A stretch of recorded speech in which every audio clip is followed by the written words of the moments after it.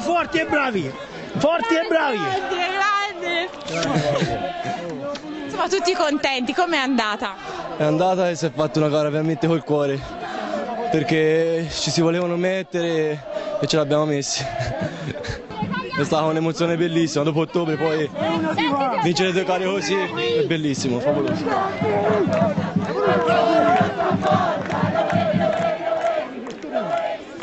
Siamo con uno degli arcieri più alti dei quartieri. Gli arcieri più alti ma meno vittoriosi, diciamo, però ci rifaremo, dai. Questa è stata la vittoria, diciamo, più bella nostra, soprattutto mia, visto che la forma è quella che era, non era proprio al 100%, quindi è stata la vittoria del cuore.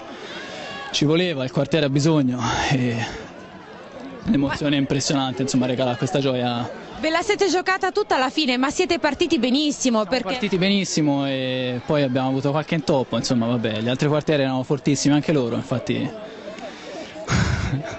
diciamo non ce l'avamo dati per spacciati, ma insomma abbiamo tenuto duro fino all'ultimo. Grazie. abbiamo festeggiato il Travaglio pochi mesi fa perché la Sagra del Tordo 2012 era vostra e adesso anche la 51esima edizione dell'apertura delle cacce. È una sensazione incredibile, è stata veramente dura perché ieri abbiamo patito lo scotto della provaccia, probabilmente perché era da tanto tempo che i ragazzi entrambi non facevano proprio la provaccia, perché a ottobre Andrea era andato direttamente in gara, la provaccia l'avevamo saltata. Amedeo è stato praticamente un anno, quasi due fermo, quindi ieri abbiamo sentito lo scotto del campo. Però ci siamo guardati negli occhi con i ragazzi, io mi fido di loro, perché sono veramente, veramente bravi, col cuore e col cuore si vince.